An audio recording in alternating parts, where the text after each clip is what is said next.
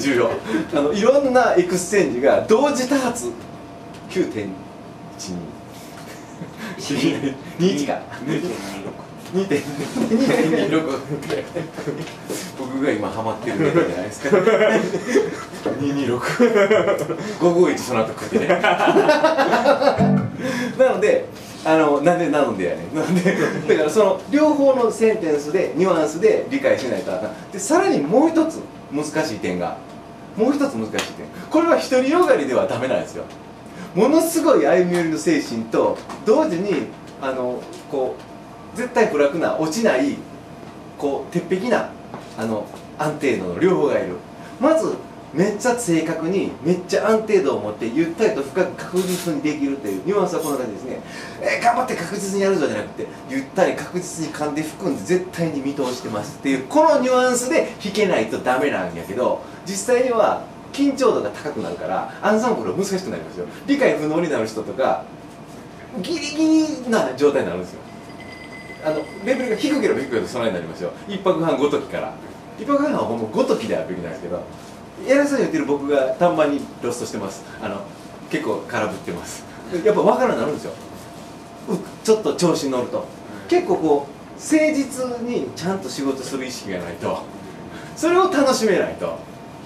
ええものにならないですね。一つはそれぐらいの安定度が得るんやけど同時に今言ったように周りの緊張度が高まるからアンサンブルがリズムのセンテンスが来る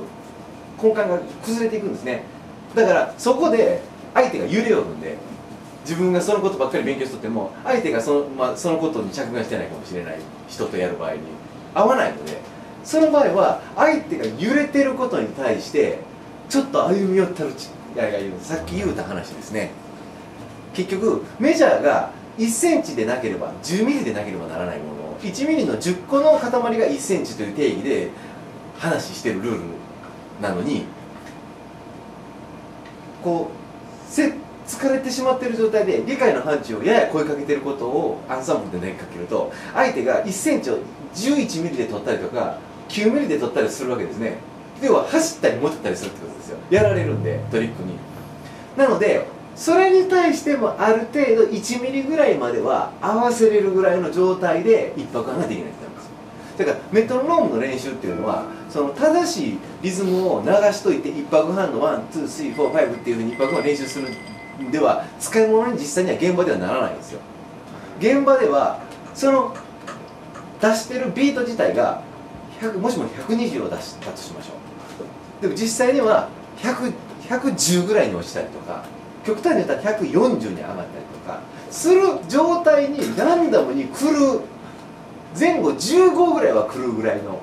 状態のものを録音したもので練習しないとダメですよ。そういうメトロノーム出たら面白いです。うん。ファジーっていうボタンがね。人間とか人間のマークやったとかそほんまそう人間はあ人間はこここそ歩み寄りで重要なとこなのでそれそれだから正しくないとできへんやんって言ったら人種が違うから会えへんねん文化がちゃうねんって言ったらもうそこまでなんですよ。そうじゃないですよ。会えへんもんなんですよ人間は。全員自分中心で生きてるから。じゃなくてそれを重々分かっとって合わせていかないとダメなので楽しく生きようと思うとなので有段者っていうかそこについては有段者側はそういうケアもできるようにするためには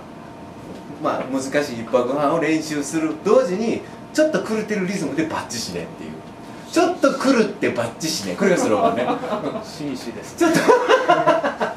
ちょっと狂ってバッチしねっていうのがものすごい重要ね。神田川料理道場